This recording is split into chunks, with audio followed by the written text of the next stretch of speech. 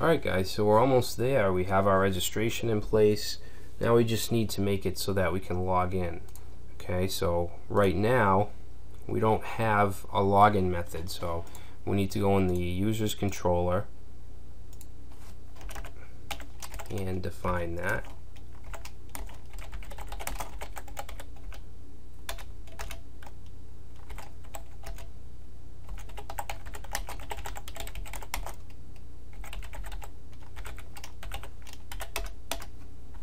Okay, so this is going to be pretty easy.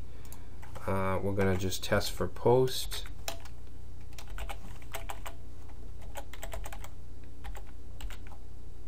If this request is post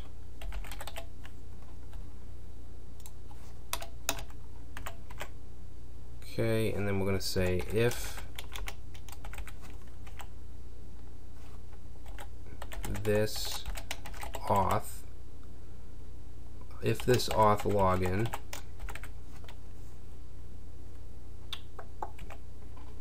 okay so this is all implemented by CakePHP we didn't create this authentication object.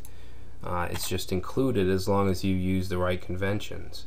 Uh, so if it's if we can log in if it works then we want to return this redirect.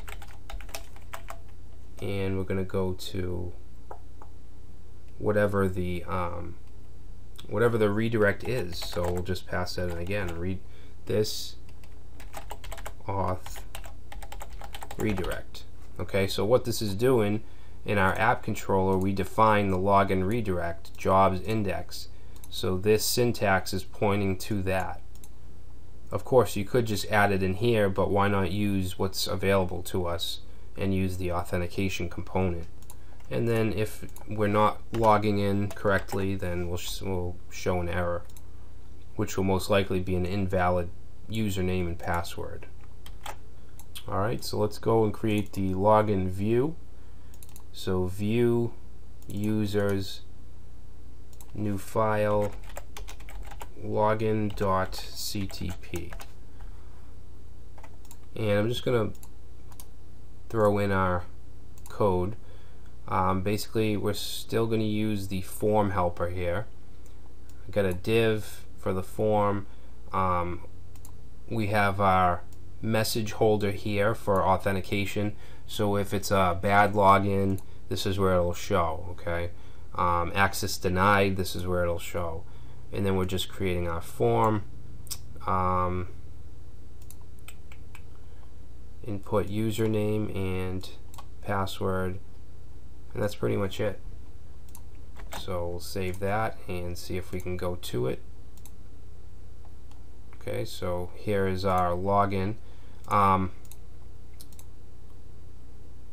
alright now let's just see if this works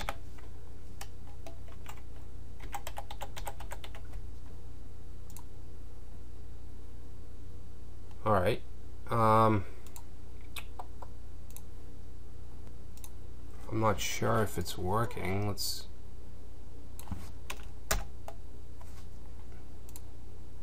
Let's go to add job.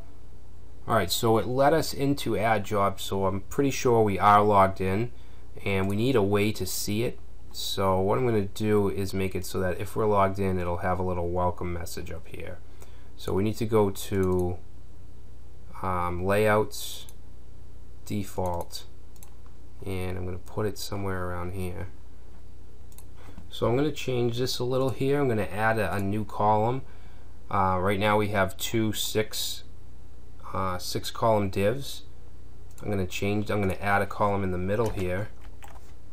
And we obviously need to change this around. So the first one will be four this one will be six and this one will be yeah this one will be 2 alright and basically it's just a column. I added a welcome class and we're going to say if and we can use variables from the authentication component just like this okay? So we can actually grab the user's ID so basically if there's a user ID that means they're logged in.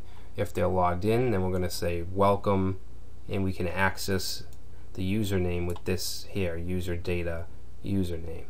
And then we're just going to have a logout button that's going to go to users slash logout. Alright, so let's save that and reload. Okay, undefined variable user data. Alright, so I don't think we set user data. And we need to do that in the app controller. And we need to use the before render function, which we didn't. So public function before render.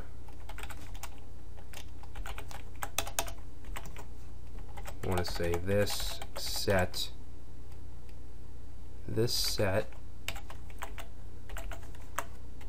user data.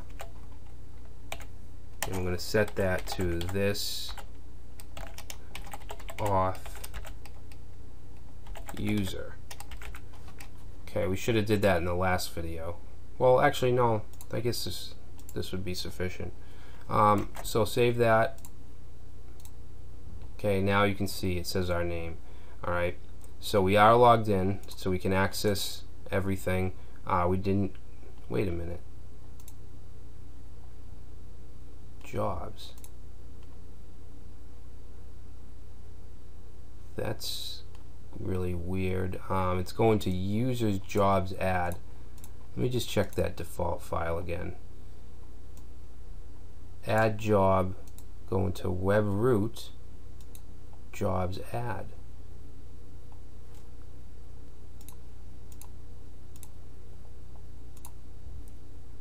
Huh. Oh, okay. Now it's working. Alright, so next we want it, we want the logout to work. Okay, we didn't create that yet. So we'll go back to the user's controller.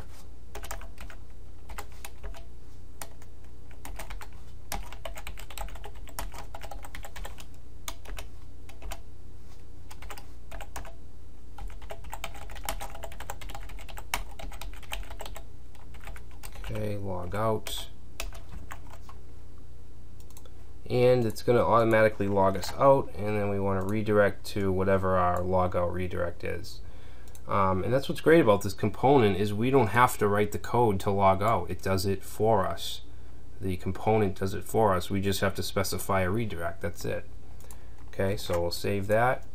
If we reload this and log out, sends us back to the home page. And you can tell we're logged out because that welcome isn't up here anymore. And if we try to add a job, we get our lo we get a login page. It says you are not authorized to access this location. So the last thing I want to do is make sure that we can only edit jobs that we create. And before we do that, if you remember when we add a job, we just added a 1 for the user ID. We needed to actually grab our real ID. Okay, so if we log in,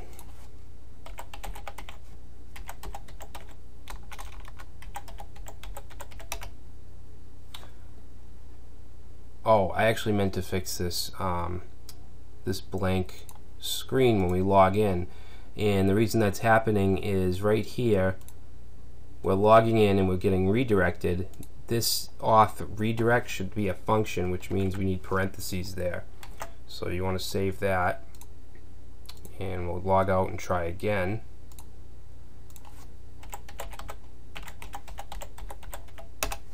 Alright, so now it logs us in. We can click add a job. Now we want to go back to the jobs function, the um, jobs controller.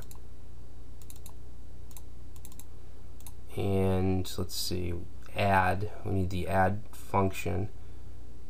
And where was it? Right here we're just we're setting this to a 1 which we need to change. Okay so what we really want here is this auth user ID okay so that'll give it our ID so what I'm going to do now is just go to the jobs Alright, so user ID. What's our ID? I think it's 4. Oh, no, it's 17. Um, I had these sample users in already, one of which was my name, which is a little confusing. But the login I'm using now is this one, ID 17. So let's go ahead and try and add a job. Let me reload this. Say test job.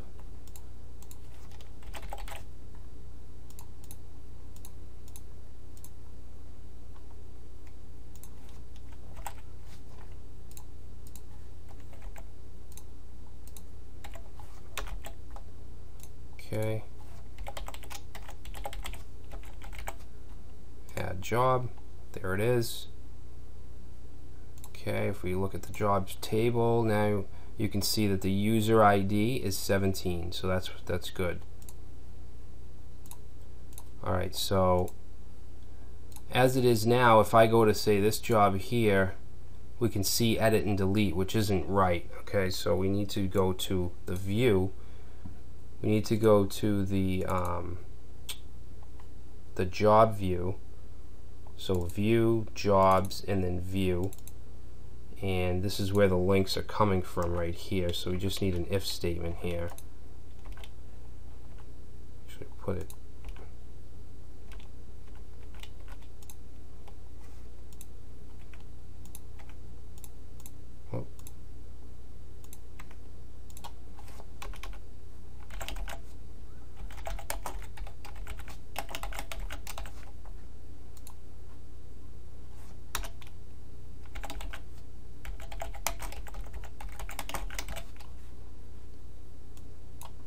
Okay, so in here, I'm just going to paste this in. So user data ID, that gets the currently logged in user's ID. And then we're setting an equal to the actual job user ID. If it is equal to that, then we can show the links. So if we save that, go back, reload, it's not there. Okay, now let's go to a job that we did create, like this test one, and now you can see that we can edit it. Alright, so that's it. Our application is done. Everything seems to be working, so I think we're all set. Alright, so it's a, it's a really good start even to a production application. Um, I hope you liked this chapter, and I will see you in the next.